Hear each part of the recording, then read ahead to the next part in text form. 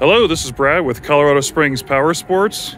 Today we are looking at a 2021 or 2022, I'm not sure on the year, a BMW F850 GS in the 40th anniversary yellow and black paint scheme.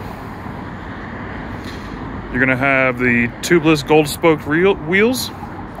This has the premium package, hand guards, you're gonna have the LED daytime running lights with the kind of X looking logo there. You're gonna have the center stand. You're gonna have the quick shifter, which you can see, you can go between the gears right there. That's gonna be your quick shifter. Öhlins suspension Beautiful yellow and black color scheme.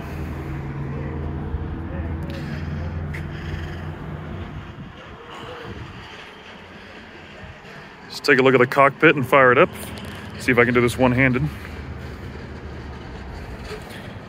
Nice, beautiful TFT display. You're gonna have cruise control.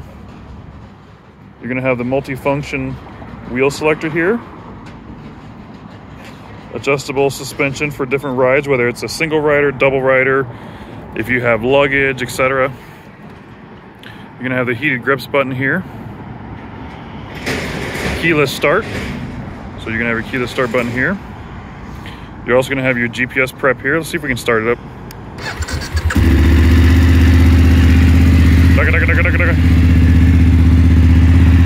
Sounds amazing. This bike is ready to go.